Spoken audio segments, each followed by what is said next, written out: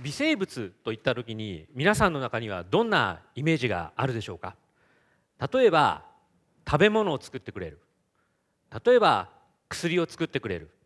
そして最近の例ではそこからノーベル賞も取れる。もっと大きくは地球の環境を守る。いろんなイメージがあると思います。でも今日どうしてもイメージしていただきたいのは実はこの会場にいる我々全員の体の中に微生物がいるということです。さて、えー、今日皆さんご飯食べてこられましたか？食べてきた人。おありがとう。みんな偉いね。そしてね食べたら次。ちょっと答えにくいかもしれないけどどうかな？この質問。済んだ人。あみんな良好かな？良好ですね。こういうふうに入れたら出す。えこれがですねこの朝起きてからのこの一連の何気ないことなんですけれども生活のやっぱり幸せの根源です。こういう幸せを継続する学問分野はとても大事ですよね。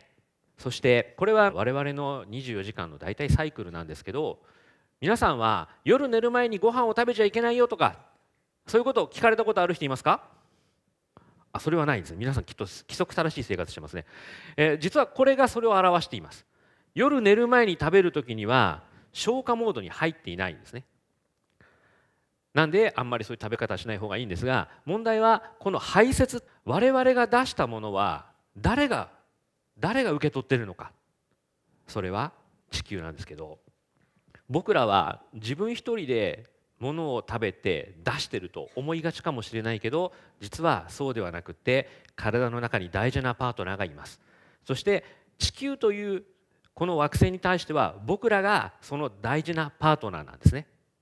なので人間の活動でどうしても出してしまったものをきれいにする。この地球環境を守るための学問というのは非常に大事です。でこの幸せを継続するための学問と地球環境を守るための学問。これ実は根っこは同じで価値はもう無限大プライスレスです。しかも国境はありません。どこの国に行っても非常に重要で大切な知識経験知恵になります。でこういう学問分野っていうのは一体何か。それが応用微生物工学です。